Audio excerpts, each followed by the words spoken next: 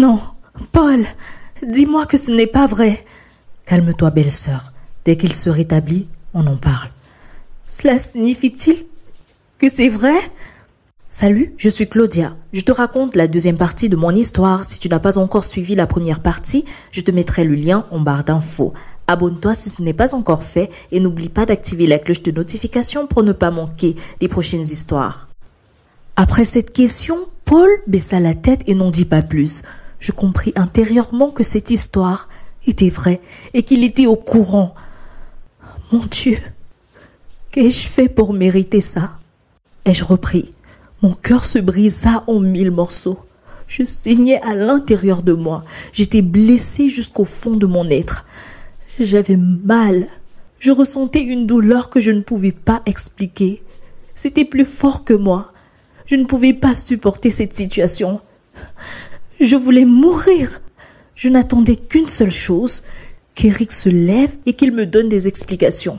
Paul se leva et alla rencontrer le médecin. Il était troublé et cela se voyait bien. Je lisais de la tristesse dans son regard. Quelques heures après, il revint, tout abattu. Claudia, as-tu déjà vu Eric? Euh, Non, pas encore? Pourquoi? Les médecins n'ont pas voulu que je le voie maintenant. Euh, moi non plus. Je ne l'ai pas vu. J'ai quand même pu voir sa fille qui est restée en vie. Écoute, Claudia, je sais que cette histoire te traumatise, mais s'il te plaît, pense à Eric qui est encore dans le coma. Attends d'abord qu'il se rétablisse et ensuite tu pourras en parler avec lui. Pour le moment, il faut qu'on paie les factures. Eric a une assurance maladie, il n'y a pas de problème pour sa prise en charge. Le problème, c'est l'enfant qui a survécu. Qui payera ses factures?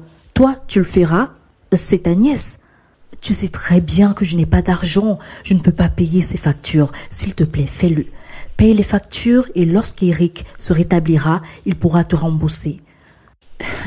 je ne connais pas cet enfant. Voyons, c'est l'enfant de ton mari, c'est ton enfant. Elle sortira de l'hôpital dans quelques semaines. S'il te plaît, accueille-la chez toi. Je ne sais pas où est-ce qu'elle ira. Paul, nous sommes en train de parler de ta nièce. Tu peux la prendre chez toi si tu veux, mais compte pas sur moi. Non, tu sais bien que je n'ai pas des moyens pour élever un enfant. Euh, je n'ai pas de travail, tu le sais bien. Je n'ai pas une véritable maison. Je regardais Eric et je ne savais comment lui dire que je ne pouvais pas prendre cet enfant parce que je la détestais. C'était le fruit de la trahison de Eric. Je ne voulais même pas qu'elle s'approche de moi. Je ne voulais pas avoir affaire avec elle.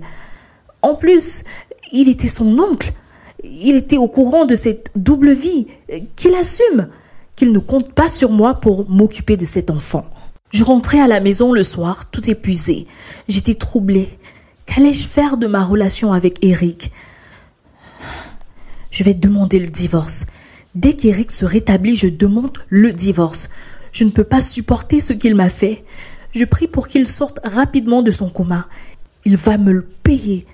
Le lendemain, je me rendis à nouveau à l'hôpital espérant qu'il y ait un changement de l'état de santé de mon mari. Bonjour docteur. Bonjour madame. Est-ce que je peux voir mon mari? Comment va-t-il? Son état est beaucoup plus stable, mais il est toujours dans le coma. Puisque vous êtes sa femme, vous pouvez le voir. Suivez-moi. Je suivis le médecin et lorsque j'entrai dans la salle où se trouvait Eric, je le vis là, couché, avec tous ses appareils branchés sur lui. Je me mis immédiatement à pleurer. Je n'arrivais pas à croire que c'était Eric qui était couché là. Les larmes dégoulinèrent de mes yeux. J'étais choquée. Le médecin me laissa et sortit de la chambre. Madame, je vous accorde juste quelques minutes. Merci, docteur. Je m'assis au chevet d'Eric et je le regardais. C'était horrible.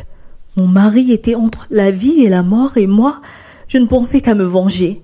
C'est vrai, mais c'était plus fort que moi. Emporté par le désir de lui parler, je ne pus me contenir. Eric, pourquoi tu m'as fait ça? Pourquoi, Eric Pourquoi?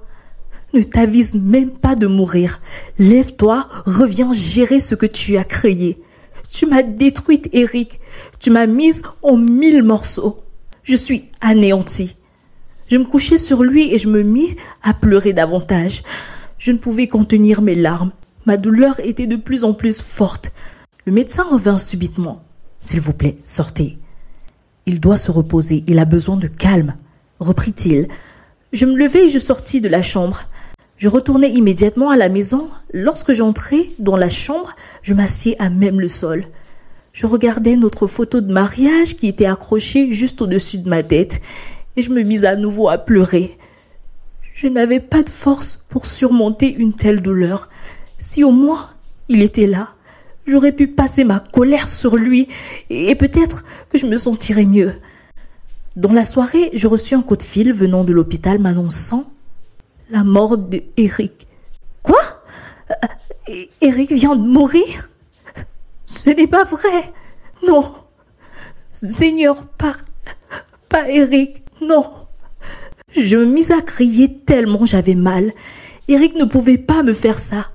Partir comme ça sans rien dire, sans me dire au revoir, sans me donner des réponses. Ma douleur était encore beaucoup plus profonde. J'aurais voulu l'affronter. J'aurais voulu qu'il me dise pourquoi. Pourquoi est-ce qu'il m'avait trompé? Depuis quand est-ce qu'il avait une nouvelle famille? Mais rien. Je n'aurais aucune réponse. Et je crois que ma douleur est beaucoup plus forte à cause de cela. Quelques semaines plus tard, Paul et moi et quelques membres de la famille avions organisé les funérailles de Eric. J'étais inconsolable.